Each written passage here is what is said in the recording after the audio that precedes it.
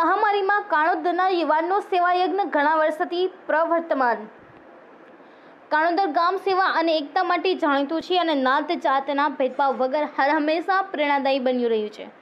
આજ ગામના નવયુવાન પ્રકાશભાઈ ધારવા કે જેઓ સેવાના આશ્ચર્યથી હાલ વકીલાતનો વ્યવસાય કરે છે અને આર્થિક ભીસ હોવા છતાં પણ સેવાયજ્ઞ સતત ચાલુ રાખ્યો છે. હાલની પરિસ્થિતિમાં તેઓ સરકારશ્રી તરફથી મળેલ ઘઉંમાંથી તેમના પરિવારના સભ્યો સાથે મળી અબોલ પશુઓ અને વનરાજ માટે રોટલી બનાવી નવી પ્રેરણા આપી છે. તેમજ આ કોરોના મહામારીમાં તેઓ કાણોદર તથા આસપાસના ગામના ડાયાલિસિસ, રેગ્યુલર ચેકિંગના દર્દીઓને વિનામૂલ્યે લાવવા મૂકવાની સેવા પૂરી પાડે છે. અગાઉ તેઓ છેલ્લા ઘણા સમયથી સરકારની તમામ યોજનાનું કામ બપોરેથી ત્રણના સમય કોર્ટ સંકુલમાં વિનામૂલ્યે કરી આપે છે અને તે માટે થતો પરચુરણ ખર્ચ પોતે જ આપે છે. રક્તદાન, શિક્ષણ, સહાય અને આરોગ્યને લગતી સેવા માટે છેક અમદાવાદ શહેર સુધી પણ જાય છે અને તેમના યુવાન મિત્રોની મદદથી કે કોઈ અધિકારીઓ, રાજકીય લોકોના સહકારથી આ પ્રકારની મદદ કરતા રહે છે. વધુમાં તેઓ તંત્રનો આભાર માનતા જણાવે છે કે મારા જેવા સામાન્ય વ્યક્તિને પાસ આપી અધિકારીઓએ સેવાનો અવસર આપ્યો છે. તમામ પોલીસ, આરોગ્ય અને સ્વયંસેવકોનો આભાર માન્યો હતો. પ્રધાનમંત્રીના તમામ નિર્ણયનો દેશના હિત માટે છે. જેમાં સહકાર આપવો જોઈએ તેવું જણાવ્યું હતું. સેવાની આવી ઉદ્ભાવના રાખનાર આ યુવાન વકીલ ઉદાહરણ સમાન છે. પ્રકાશભાઈ અત્યારે કોરોના મહામારી ચાલી રહી છે ત્યાં અબોલા જીવની સેવા કરવાનો આપનો વિચાર ક્યાંથી આવ્યો? થોડા દિવસ પહેલા સરકારશ્રી તરફથી મામલદાર સાહેબ તરફથી સેવાનો એક પાસ મળ્યો છે. મગરવાડાના રૂટમાં જવાનું થયું ત્યાં. તો ત્યાં વરસાડાથી મગરવાડા રૂટ ઉપર ઘણા બધા વાનર રાજને અમે બેઠેલા જોયા હતા. ત્યારે એવો વિચાર આવ્યો કે આમને બી કંઈક જો જમવાનું અત્યારે મગરવાડાથી વછડા પાંચમ હોય કે રવિવાર હોય તો શ્રદ્ધાળુની ખૂબ અવર જવર હોય છે.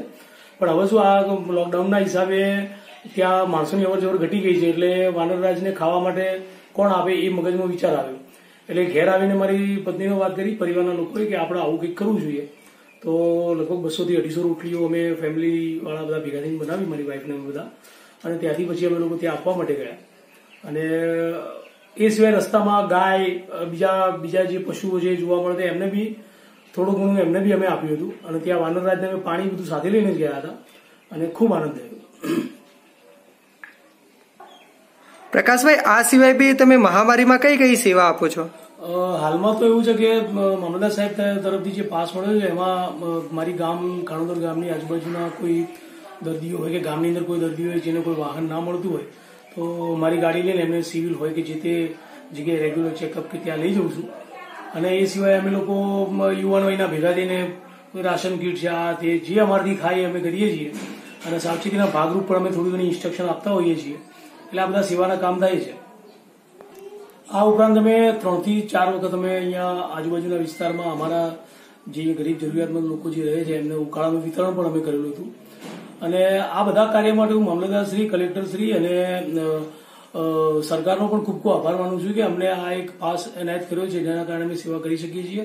અને સરકારશ્રીની જે પણ ઇન્સ્ટ્રક્શન હોય છે, એ કોરોનાથી રાજ્યને અને આખા રાષ્ટ્રને બચાવવા માટે જ હોય છે.